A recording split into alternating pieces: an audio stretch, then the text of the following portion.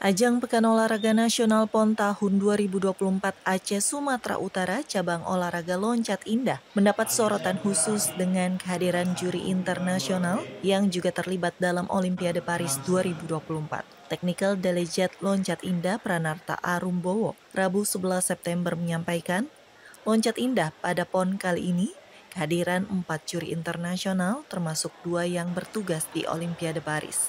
Pranarta yang sebelumnya bertugas sebagai juri di Olimpiade Tokyo 2020 dan Paris 2024 berharap PON 2024 tidak hanya menjadi ajang kompetisi, namun juga menjadi momentum untuk meningkatkan kualitas olahraga loncat indah di Indonesia. Karenanya ia pun menggait rekan-rekan juri berkaliber internasional seperti Jeff Stabile dari Amerika Serikat, Bumika Mayor Fias dari India, serta Agnes Wong dari Malaysia yang semuanya memiliki pengalaman di berbagai perhelatan olahraga dunia. Dan kemudian kita ada technical official. Technical official kita alhamdulillah kami uh, berhasil mengundang uh, empat uh, juri dari luar. Dua di antaranya adalah juri dari uh, Olimpik.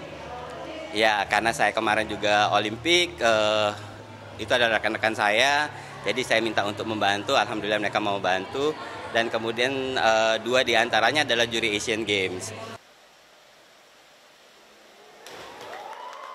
Keterlibatan juri-juri ini bertujuan untuk berbagi pengetahuan dan pengalaman dengan juri lokal sekaligus meningkatkan kualitas sumber daya manusia di Indonesia. Melalui kehadiran mereka diharapkan terjadi transfer pengetahuan yang bermanfaat bagi perkembangan olahraga loncat indah di tanah air.